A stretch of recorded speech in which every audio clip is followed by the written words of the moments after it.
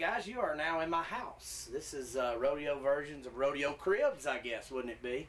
So uh, show you a little bit how I live on the road. I'm gone uh, 340 days a year, and uh, I travel to all 50 states. I've been through them most. I have a cool bulldog that travels with me. He's over at a friend's house because we're here at the college, and I didn't want him getting out in the road. I do a lot of entertaining in here. We've had some really good celebrities. If you'll see over here, this is my favorite part of it. This is uh, the after parties are always in here, and they always rock. I would be the only rodeo clown in the business with his own kegerator, Coors kegerator.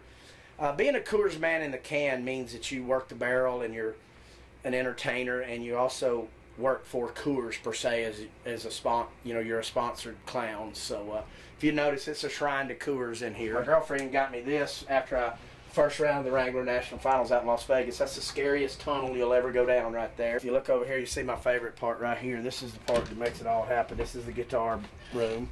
Keep them all in here, and, and they're uh, keep a few old keg taps and stuff when people give me and clown of the year stuff. This is when I was before I got into PRCA. This is all my IPRA stuff. Uh, some stuff from the Wrangler National Finals. Best thing I got in here is my iPod, my my iPad hanging here with the uh, with my Pandora, and I just I just got hired by Luke Kaufman. I play lead guitar for Luke Kaufman, and I found out we are on Pandora now, so that rocks it. If you come over here, you see my best friend. He's Cody Sosebee. He does the bull ridings here. This is one of my all-time favorite pictures from President George Bush. Got it from him. He sent me a nice letter and everything.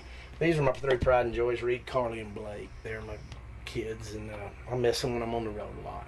It's kind of cool to uh, have them out on the road with you, and they love their dad being a rodeo clown. I built all the bar. The bar is made of solid copper and rock. Put the cool fireplace in. This is home, and it's about time for y'all to get out of here so I can relax, get ready for the rodeo. All right? Thanks, guys, for coming by.